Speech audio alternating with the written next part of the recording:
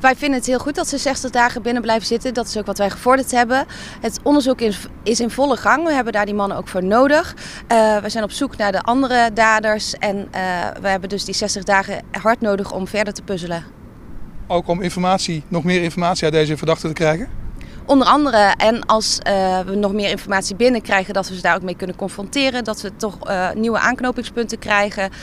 En het is ook een heftig feit. Er, uh, het gaat over een miljoenenroof. Dus we willen daar wel echt een oplossing voor krijgen. Zit het onderzoek vast?